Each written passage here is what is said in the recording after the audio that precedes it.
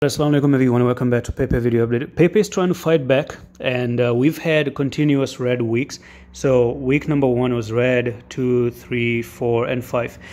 So we might start to see that if in the next two days, 15 hours, you're not coming down here and we potentially see Pepe trying to move back up like this and make a little bit of a doji closing, we might even see next week Pepe trying to pump back up and maybe even go all the way to 14,000 level and touch these areas. Now that's the weekly time frame. I still have to do some more checks, so I'm gonna have to wait two more days for that to happen.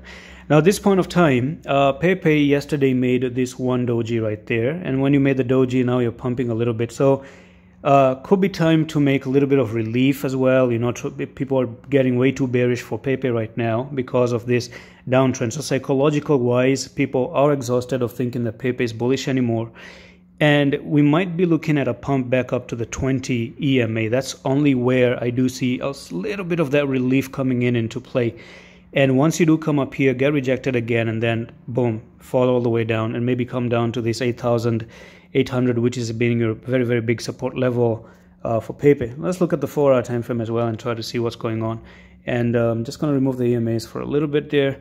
Yeah, you do have Pepe like this, and the RSI is actually showing that uh, you do have a little bit of a room to maybe climb back up here. So if we go with the RSI and you start to pump for Pepe and you start to try to make a little bit of that relief to the upside, then you have to look at the RSI because uh, the next level of resistance on the RSI is going to be the following. You come up here and this is where you have resistance and pump all the way up to that resistance, get rejected, go up here, get rejected, and then climb down, and then this one also climbs down. So that's it for this just very very quick comment and an update on Pepe. I'm going to see you the next one. Hello Hafiz.